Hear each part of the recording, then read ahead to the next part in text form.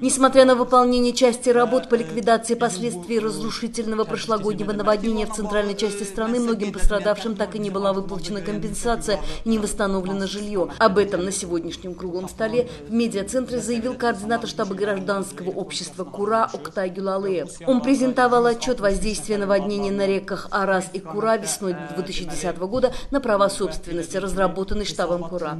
С мая этого года в штаб Кура поступило 500 жалоб от граждан, чьи дома пришли в непригодное состояние. Жалобы были систематизированы и переданы в МЧС, и на их основе проводится повторная оценка жилья. Кроме того, 70 граждан обратились в суды с исками о восстановлении жилья, и двое из них уже выиграли судебные процессы. В то же время есть проблемы с качеством построенного жилья. В селе Таляшли и Мишлинского района во многих построенных домах возникли трещины, и сложилась аварийная ситуация. Кроме того, в некоторых местах в домах нет обогрева. Компенсации пострадавшим тоже оказались неадекватно реальному ущербу. Так семьи получили компенсации в размере от 300 до 1600 манатов, хотя многие граждане потеряли все имущество – мебель, домашнюю утварь, урожай, домашний скот.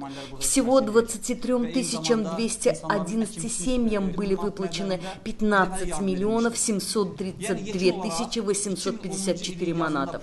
Ильхам Амирасланов из села Аскербейли Северобадского района считает, что наводнение было искусственно спровоцировано потоком воды из Мингечевирского водохранилища, чтобы переселить людей с плодородных земель. Житель села Уладжалы того же района Хусейн Ага Гусейнов считает, что жителей этой местности наказывают за то, что на президентских выборах они голосовали за оппозиционного лидера Исугамбара. Однако представитель АО «Мелиорация и водное хозяйство» Абдулахман Гаджиев отверг утверждение о том, что наводнение было вызвано умышленно. По его словам, это было стихийное бедствие, вызванное весенним половодьем на реках Кура и Арас и поднятием грунтовых вод из-за обильных дождей. Он отметил, что осталось построить дамбу длиной в 185 километров вдоль Куры и 70 километров вдоль Араза.